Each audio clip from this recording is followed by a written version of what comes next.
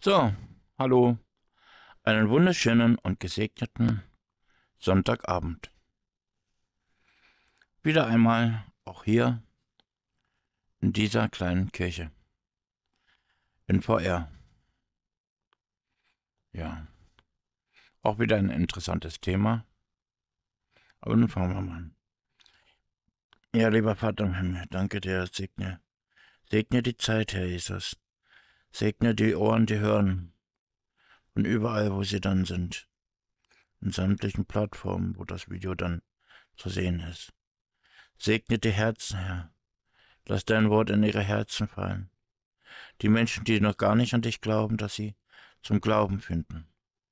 Und diejenigen, die schon glauben, dass sie gestärkt werden und weiter wachsen zu dir hin, Herr Jesus, und in dir, Herr Jesus. Amen. Damit alles im Vater ist, durch den Sohn. Amen. Ja, dann fangen wir mal an mit der Tageslosung.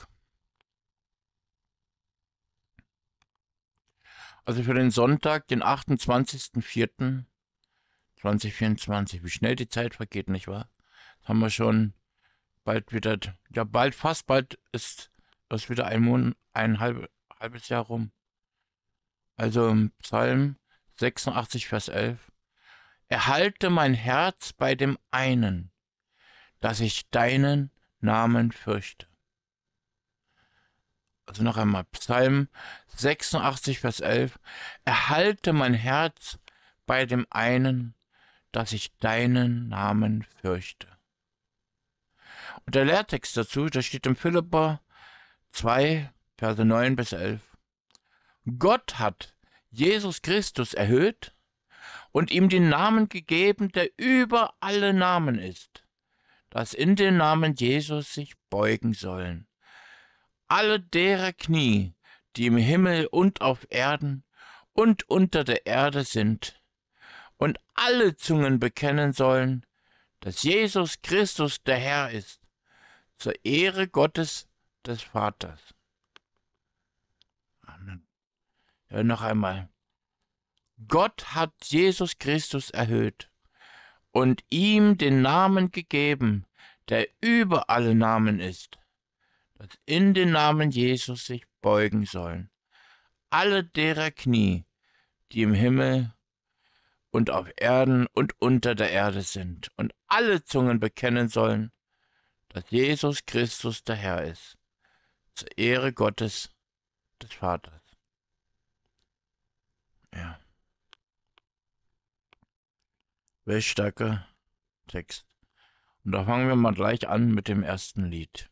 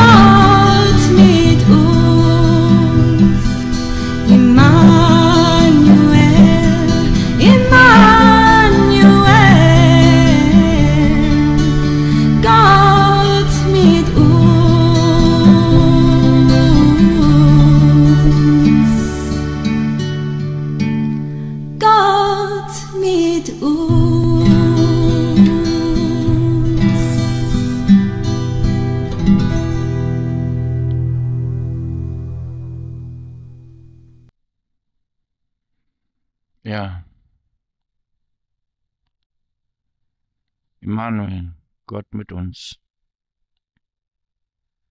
Tja. Gehen wir gleich mal hier rein.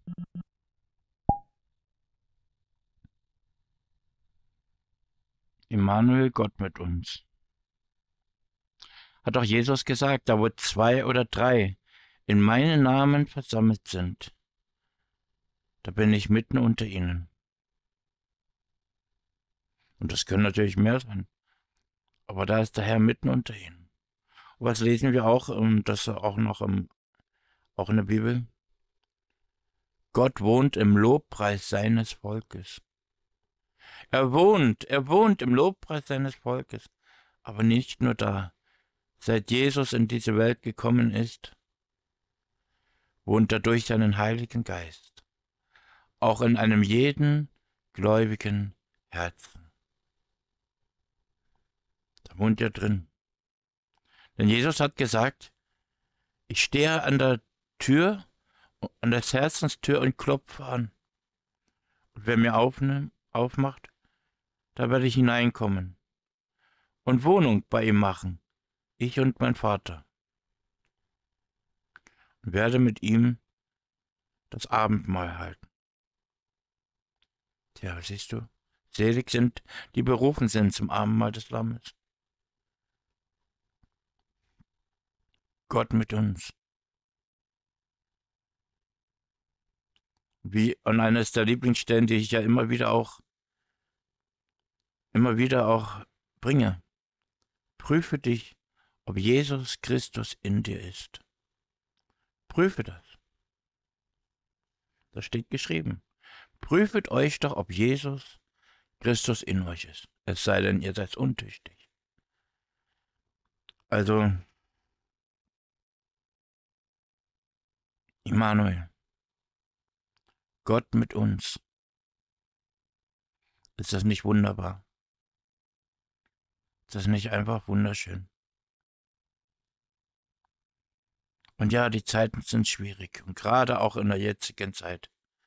Es wird immer schwieriger. Aber das ist vorausgesagt. Das ist alles vorausgesagt.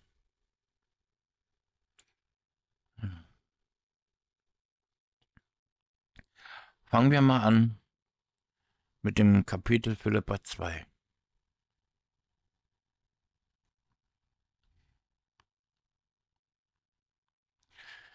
Gibt es nun bei euch Ermahnung in Christus?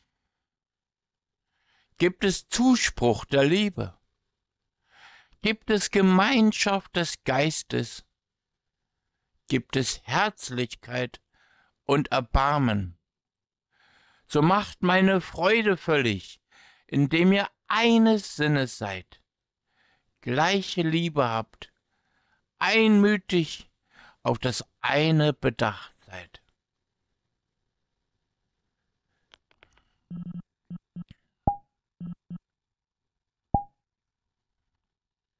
So viel zur Vielfalt, nicht wahr?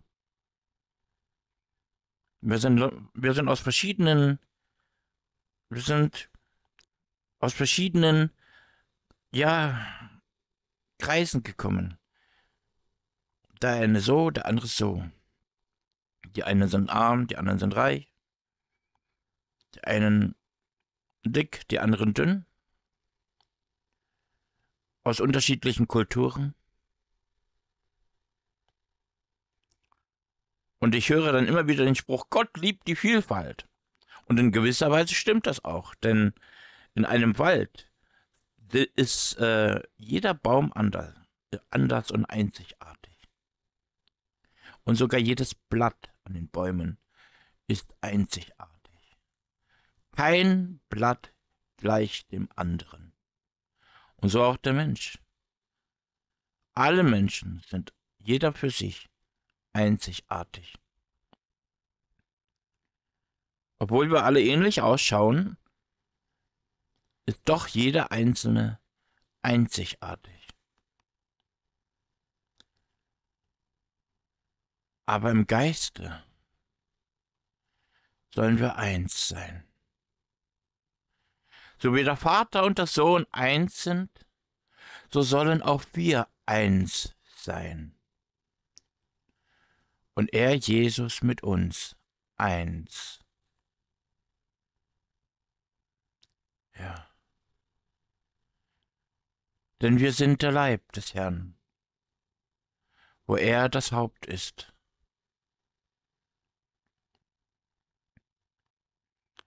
Gibt es nun bei euch Ermahnung in Christus? Gibt es Zuspruch der Liebe? Gibt es Gemeinschaft des Geistes? gibt es Herzlichkeit und Erbarmen, so macht meine Freude völlig, indem ihr eines Sinnes seid und die gleiche Liebe habt, einmütig und auf das eine bedacht seid, und tut nichts aus Selbstsucht oder nichtigem Ehrgeiz, sondern in Demut achte einer den anderen höher als sich selbst.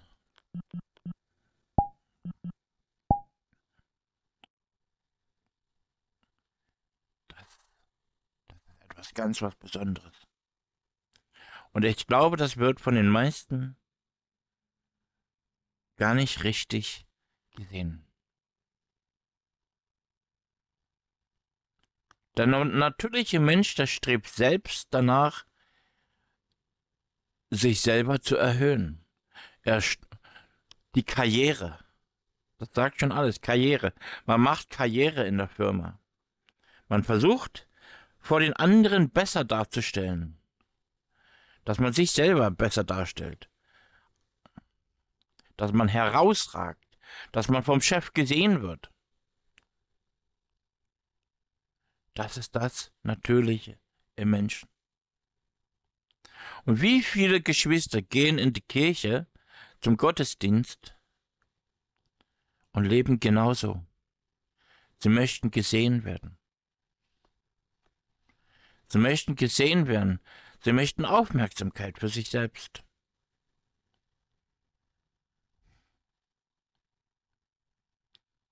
Oder kannst du dir erklären, warum oftmals viele so piekfein geschniegelt und gestriegelt in den Gottesdienst gehen und doch gar nicht wirklich mit dem Herzen bei Gott sind? Vielleicht, weil sie nur sich selbst zeigen möchten. Aber so sollen wir nicht sein. Zum allererst unser Sinn auf den Herrn. Und dann sollen wir den anderen, den anderen Bruder, die andere Schwester höher achten als uns selbst. Stell dir vor, der Nachbar, der neben dir sitzt oder vor dir ist oder sich hinter dir befindet, sie sind höher und besser gestellt als wie du. So sollst du denken. Denn wer sich selbst erniedrigt, der wird erhöht werden. Und wer sich selbst erhöht, der wird erniedrigt werden. Wir sollen einander höher achten von dem anderen als uns selbst. Was hat Jesus getan? Weißt du, die Apostel, die haben damals immer, immer wieder auch so Fragen gesagt, ja, wer ist der Größte unter uns? Bei dir. Was sind das für Fragen? Jesus hat gesagt, wenn ihr nicht so werdet wie die Kinder, wie die kleinen Kinder, dann kommt ihr gar nicht rein ins Reich Gottes.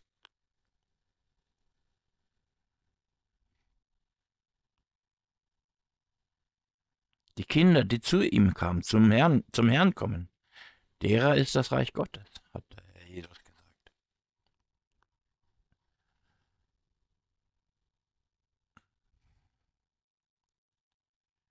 Jesus ist auf die Knie gegangen in der Runde seiner Apostel und hat ihnen die Füße gewaschen.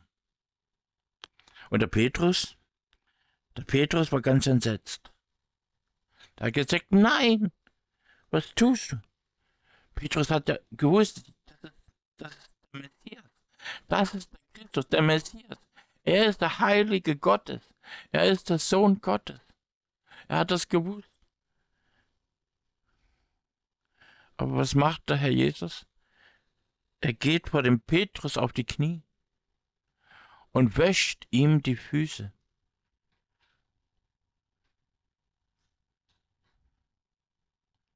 Es geht um die Herzenshaltung. Es geht um die Herzenseinstellung. Das heißt nicht, dass wir in unseren Gottesdiensten jetzt überall äh, einfach mal so Fußwaschungen durchführen sollen. Nein, es geht um die Herzenshaltung, die der Herr damit verbindet. Er sagt, wenn ihr solches tut und wisset, selig seid ihr es. Verstehst du? Es bedeutet, wir sollen einander dienen. Und zwar wirklich dienen. In allen Stücken. Und zwar aus Liebe. Und die Liebe trachtet nicht nach eigenem, sondern auf das Wohl des anderen. Einander dienen. Dienet einander. So werden wir ja das Gesetz Christi erfüllen. Was ist das Gesetz Christi? Das Gebot der Liebe. Die Liebe. Ja.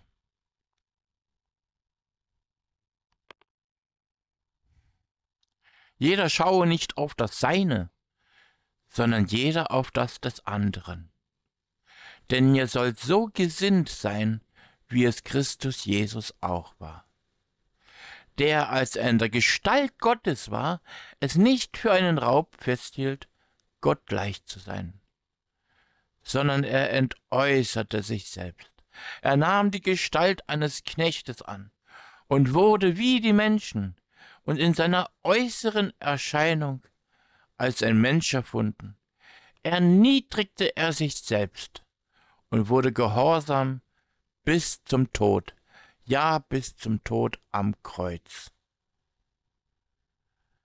Darum hat ihn Gott auch über alle Maßen erhöht und ihm einen Namen verliehen, der über alle Namen ist, damit in den Namen Jesus sich alle Knie derer beugen, die im Himmel und auf Erden und unter der Erde sind.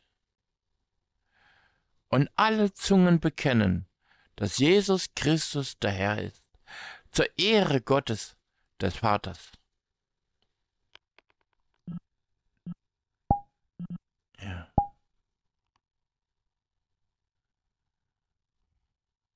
Das ist das, was in dem heutigen Tageslosung steht.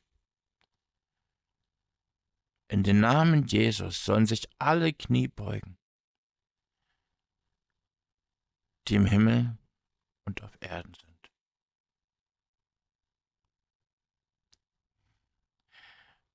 Es ist ein sehr schönes Wort, wisst ihr, ich habe da mal so ein paar so Sachen herausgenommen. Also es ist ähm, Philippa 2, Verse 9 bis 11, also direkt ab Vers 9. Das ist an dieser Stelle. Ah ja, genau. Er erniedrigte sich selbst und ward gehorsam bis zum Tode. Ja, zum Tode am Kreuz. Darum hat ihn auch Gott erhöht und hat ihm einen Namen gegeben, der über alle Namen ist, dass in den Namen Jesus sich beugen alle derer Knie, die im Himmel und auf Erden und unter der Erde sind. Und jetzt ein paar Querverweise dazu, die genau darauf zielen. Im Jesaja 52, Vers 13 steht, siehe mein Knecht, er wird weislich tun und wird erhöht und sehr hoch erhaben sein. Das ist eine Prophezeiung aus dem Alten Testament auf Jesus hin. Siehe mein Knecht, er wird erhöht sein und sehr hoch erhaben. Jesaja 53, Vers 12 steht, Darum will ich ihm große Menge zur Beute geben. Und er soll die Starken zum Rauber haben, darum, dass er sein Leben in den Tod gegeben hat und den Übeltätern gleichgerechnet ist und er viele Sünden getragen hat und für die Übeltäter gebeten hat. Oh, welch starkes Wort. Ein Wort aus dem Alten Testament. Also ich würde euch wirklich empfehlen, euch genau das auch mal in einer privaten Lektüre zu, sich anzuschauen, zu lesen. Gerade was im Jesaja Kapitel 53 geschrieben steht. Das so von Jesus zu lesen, das merkt ihr richtig, das spürt ihr innerlich.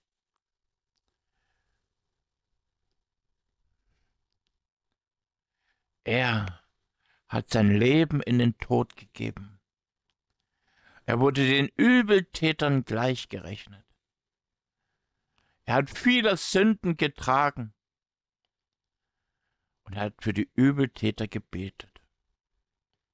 Ja, er sagt am Ende am Kreuz, Vater, vergib ihnen, denn sie wissen nicht, was sie tun.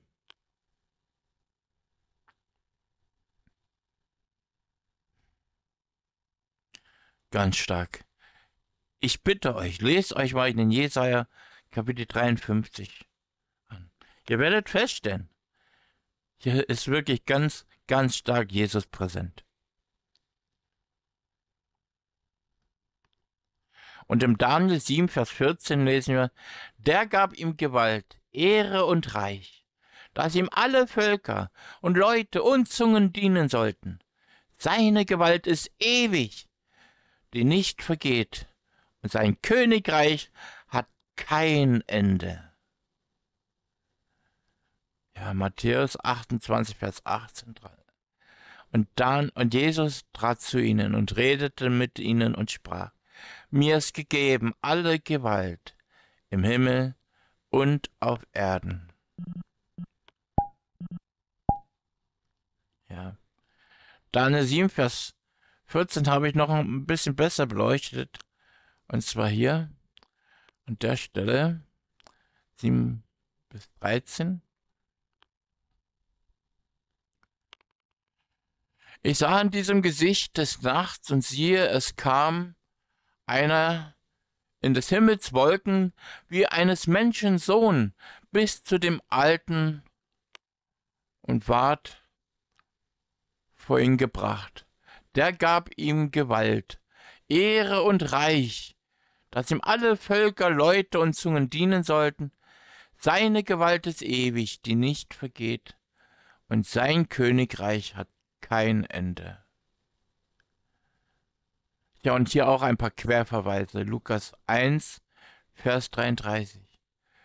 Und da wird, wisst ihr, das, das ist etwas, das hatte eine, ich glaube, das war Simeon, ja? Ähm, als Jesus noch ein Baby war. Da hat er, den Herrn gepriesen und er hat dann gesagt, und er wird ein König sein über das Haus Jakob ewiglich. Und sein Königreich wird kein Ende sein. Und im Johannes 3, Vers 35. Der Vater hat den Sohn lieb und hat ihm alles in seine Hand gegeben. Johannes 12, 34. Da antwortete ihm das Volk, wir haben im Gesetz gehört, dass Christus ewiglich bleibe. Und wie sagst du denn, der Menschensohn muss erhöht werden? Wer ist dieser Menschensohn? Wisst ihr?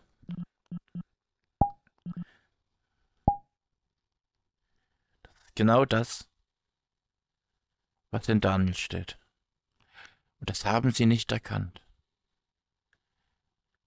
Sie haben ihre, sie haben täglich, ja, ja, nein, aber sie haben jede Woche auf jeden Fall in der Tora gehört. Und sie haben viel studiert in der Tora, in dem, was man sagt, Altes Testament, in den prophetischen Büchern. Sie haben viel darin studiert.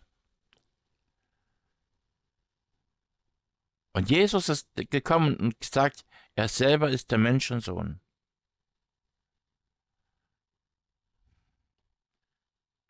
Aber sie haben es nicht erkannt.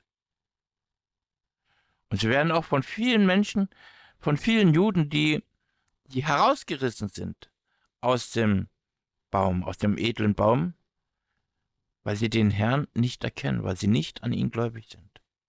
Können wieder eingefroppt werden, wenn sie sich bekehren.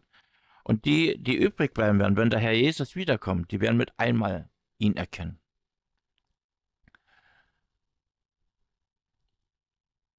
Aber bis jetzt ist den meisten einfach eine Decke vor den Augen, sodass sie ihn nicht sehen. Sie fragen ihn, der Menschensohn muss erhöht werden. Wer ist denn dieser Menschensohn? Naja, in einem ihrer prophetischen Bücher steht geschrieben. Ich sah in diesem Gesicht des Nachts, und siehe, da kam einer in des Himmelswolken wie eines Menschensohn. Bis zu dem Alten, und der gab ihm dann die Gewalt, Ehre und Reich, dass ihm alle Völker und Leute und Zungen dienen sollten.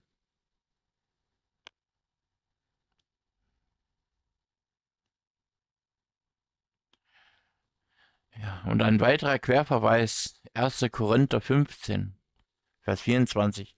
Und danach das Ende wenn er das Reich Gott und dem Vater überantworten wird, wenn er aufheben wird alle Gewalt und alle Obrigkeit und Gewalt. Gleich dann weiter auf 27. Denn er hat ihm alles unter seine Füße getan. Wenn er aber sagt, dass er alles untertan sei, so ist offenbar, dass ausgenommen ist, dass ihm alles untergetan ist. Ja, wisst ihr, das ist ein Wort, Ich glaube, das habe ich schon mal erwähnt. Aber ich, wisst ihr, als ich das damals zum ersten Mal gelesen hatte, da war ich schon irgendwie traurig. Ich war auch ein bisschen in einer gewissen Weise auch entsetzt. Sagt doch Jesus, ich bin die Auferstehung und das Leben. Wer an mich glaubt, der wird leben, auch dann, wenn er stirbt. Aber wer da lebt und glaubt an mich, der wird in Ewigkeit nicht mehr sterben. Jesus schenkt uns, er schenkt dir, er schenkt mir das ewige Leben. Und dann habe ich damals, als ich dann zum Glauben kam, dann gelesen, und ganz am Ende, dann wird er das Reich Gott und dem Vater überantworten. Und es wird alles dann dem Vater überantwortet werden. Und am Ende wird nur noch einzig Gott sein. Und ich habe mir gedacht, ja, dann wird es doch wohl irgendwann enden, ne? Am Ende wird nur noch Gott übrig sein. Aber zu der Zeit hatte ich das nicht verstanden. Und ich bete drum, ich hoffe, dass ihr es versteht. Wir sind Teil von ihm. Und er ist Teil von uns. Wir sind Teil von ihm. Und er gab seinen Heiligen Geist als Anteil, als Anzahlung. Wir, sind, wir gehören zu ihm. Wir gehören zu dem Leib des Christus. Wir sind Teil des Leibes des Christus. Wir gehören zu ihm.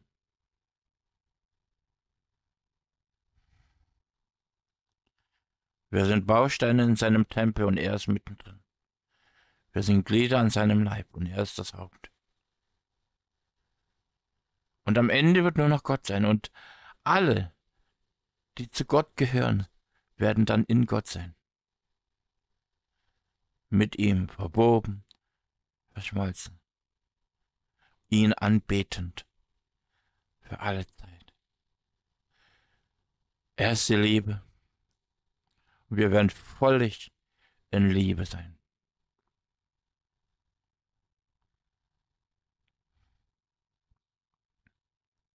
Etwas unbeschreiblich Schönes wartet auf dich, wenn du wirklich an Jesus glaubst.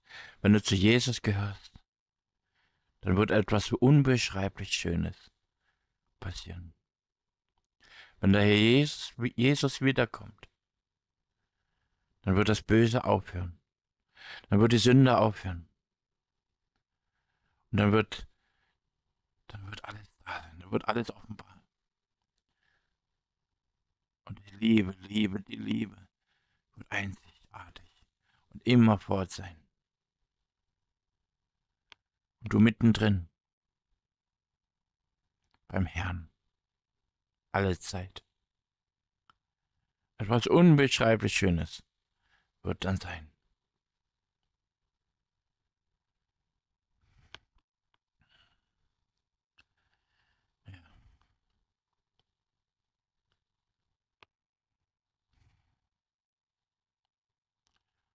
Darum, meine Geliebten. Versteht ihr? Der Paulus sagt immer Geliebte, weil er sie liebt. Wie ihr alle Zeit gehorsam gewesen seid, nicht allein in meiner Gegenwart, sondern jetzt vielmehr in meiner Abwesenheit. Verwirklicht eure Rettung mit Furcht und Zittern. Denn Gott ist es, der in euch da sowohl das Wollen als auch das Vollbringen wirkt nach seinem Wohlgefallen. Ja. Eine ganz wichtige Sache. Sollten wir uns noch fürchten? Oder einfach nur ehrfürchtig sein? Schau dich doch an. Wie sieht es denn aus in deinem Christenleben? Läuft alles schnurstracks so, wie es da steht in der Bibel? Ist alles super? Wie, wie würde Paulus über dich heute reden, wenn er dich sehen würde und so, wie du lebst? Würde er dann auch sagen, oh, ich habe große Freude an dir? Oder gibt es nicht noch eine Menge Baustellen, wo du dann, ja, wo du manchmal denkst, wie soll ich dann je das schaffen? Dann lesen wir, Gott ist es, der das Wollen und das Vollbringen wirkt nach seinem Wohlgefallen.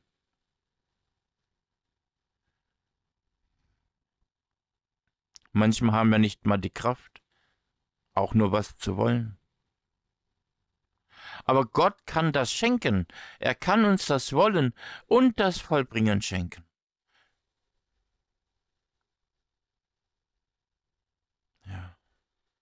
Darum ist es wichtig, auch Gott zu fürchten. Dass er es uns schenkt, dass wir es ernst nehmen, dass wir das nicht einfach so drüber hinweggehen. Ach, das ist doch äh, einfach, naja, nein, dass wir Gott wirklich mit Ernst bitten, dass er uns das Wollen und das Vollbringen schenkt.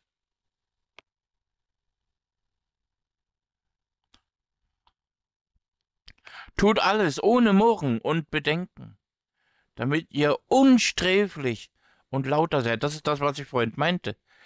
Sind wir unsträflich und lauter, untadelige Kinder Gottes. Inmitten, inmitten eines verdrehten und verkehrten Geschlechts unter welchem wir leuchten als Lichter in der Welt.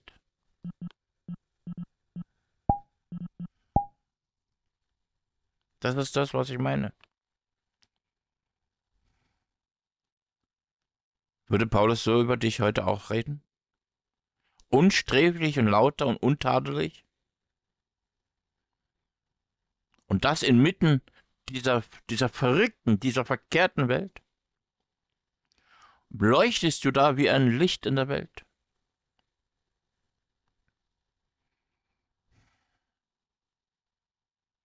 Darum sollen wir den Vater im Himmel bitten, dass er uns wirklich das Wollen und das Vollbringen schenkt in den Namen des Herrn Jesus.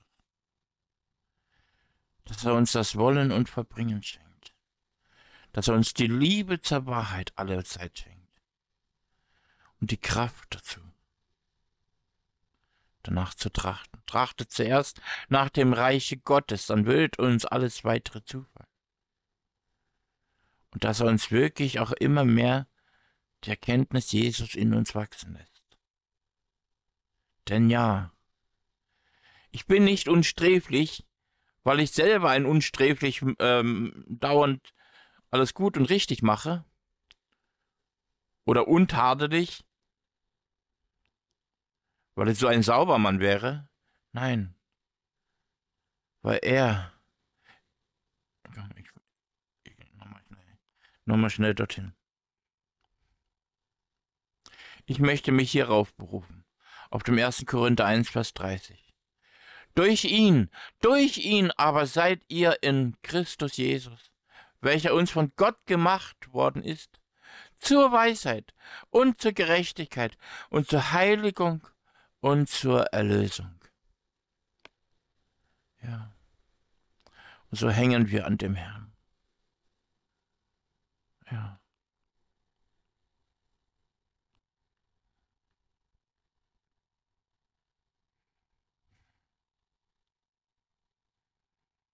Tut alles ohne Murren und Bedenken. Damit ihr unsträflich und lauter und untadelige Kinder inmitten eines vertreten, verkehrten Geschlechts, unter welchem ihr leuchtet als Lichter in der Welt, indem ihr das Wort der Wahrheit darbietet, mir zum Ruhm am Tag des Christus, dass ich nicht vergeblich gelaufen bin, noch vergeblich gearbeitet habe. Und jetzt spricht Paulus da auch von sich, weißt du, denn aber ich bin wie ein Trankopfer ausgegossen. Ja. Ja. Sagt ja auch hier, so bin ich doch froh und freue mich mit euch allen. Gleicherweise sollt auch ihr froh sein und euch mit mir freuen.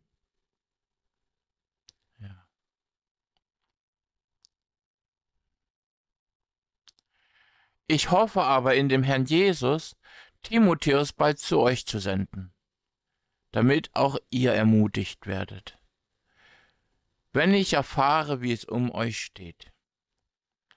Denn ich habe sonst niemand von gleicher Gesinnung, der so redlich für eure Anliegen sorgen wird. Ja, das ist etwas, was mir auch oft in den Sinn steht ich sehe die Dinge halt nun mal anders als viele, viele Geschwister. Da gibt es verschiedene Dominationen, könnte man sagen, oder hier verschiedene Strömungen, die in diese Richtung gehen, in diese Richtung. Es gibt die Freikirchler, äh, die evangelischen Landeskirchen, es gibt die sogar katholischen Kirchen, es gibt äh, verschiedene Strömungen, verschiedene Strömungen. Aber es gibt nur eine Lehre. Und nur eine Lehre kann richtig sein. Also es kann nicht sein, dass alle miteinander Recht haben. Die einen glauben an die Vorentrückung, die anderen dann danach, die anderen an dieses. Ich, ich habe sogar jetzt schon, ich habe tatsächlich sogar Leute ge gehört, die glauben an gar keine Entrückung. ja. Aber es können nicht alle Recht haben. Aber wisst ihr, was in der Bibel steht? Nicht alle haben die gleiche Erkenntnis. Die einen, also gerade auch wenn man zum Glauben kommt, die haben erstmal die, die haben erstmal nur den Herrn erkannt. den Vater gesehen. Sonst wissen die erstmal noch nichts. Das muss ihnen dann alles wie die Milch gegeben werden. Ja. Versteht du? Nicht jeder äh, steht auf derselben Stufe der Leiter, sondern da, die einen haben früher begonnen und die anderen später. Darum ist das ist der Erkenntnisstückwerk. Immer nur Stückwerk. Wir sehen nicht alles mit einmal sofort, sondern stückchenweise. Und dann aber am Ende, wenn wir dann beim Herrn sind, dann werden wir mit einmal alles erkennen. Dann wird es einfach klar sein. Ja. Darum ist es so wichtig. Ja.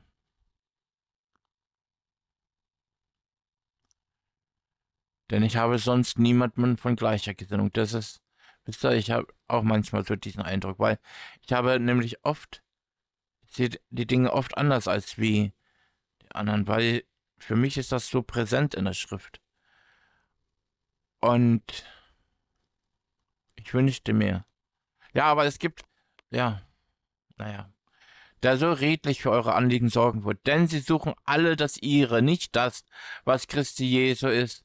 Das hat, das hat der Herr schon damals gesehen und hat den Paulus das aufschreiben lassen. Sie suchen alles das ihre. Über wem, über wem redet denn der Paulus das? Über wem sagt der Paulus das? Sie suchen alle das ihre. Das sagt er nicht über die Heiden. Das sagt er über die, die sich zu Jesus Christus bekennen. In der damaligen Gemeinde.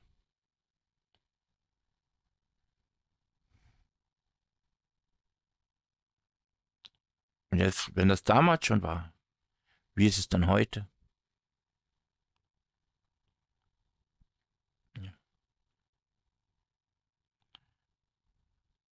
Diesen hoffe ich aber nun sofort, denn wie er sich aber bewährt hat, das wisst ihr, dass er nämlich wie ein Kind dem Vater mit mir gedient hat am Evangelium. Diesen hoffe ich nun sofort zu senden, sobald ich absehen kann, wie es mit mir gehen wird. Ich bin aber voll Zuversicht dem Herrn, dass auch ich selbst bald kommen werde.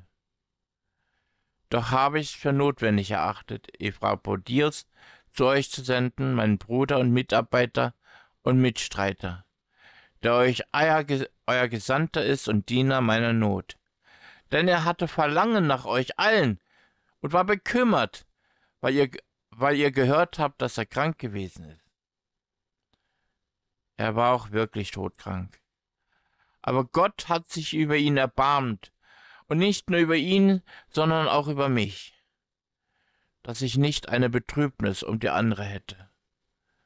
Umso dringlicher habe ich ihn nun gesandt, damit ihr durch seinen Anblick wieder froh werdet und auch ich weniger Betrübnis habe.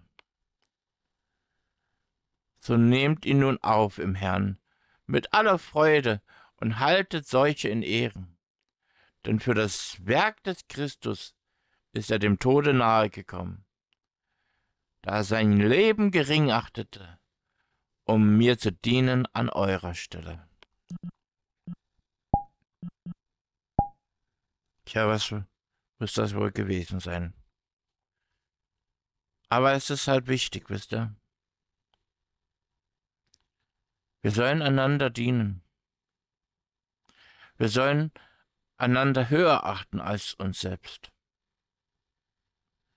Aber wir kämpfen immer noch in unseren irdischen Leibern. Ja. Und wir machen noch Fehler. Aber unser Leben soll ein Leben der Liebe sein.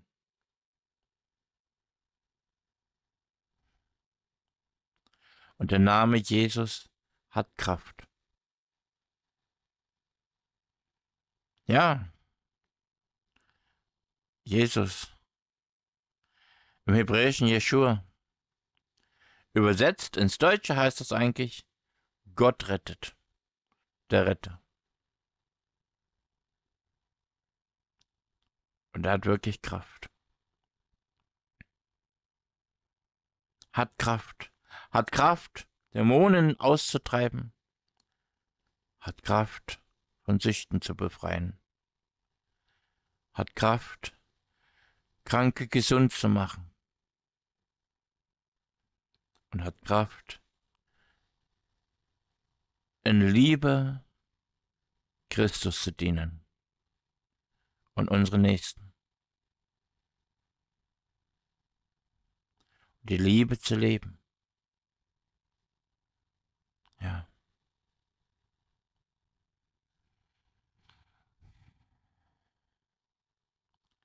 Amen. So, und jetzt kommt noch ein weiteres Lied. Das ist ein Lied, das habe ich auch ein, ja, am Anfang, als ich dann zum Glauben kam, auch immer sehr gerne gehört. Wisst ihr, in, dem Lied, da singt man ähm, er.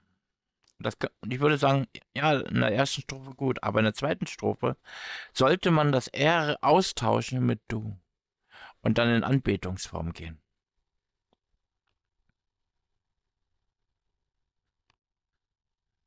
Dann machen wir hier ein neues Lied hinein.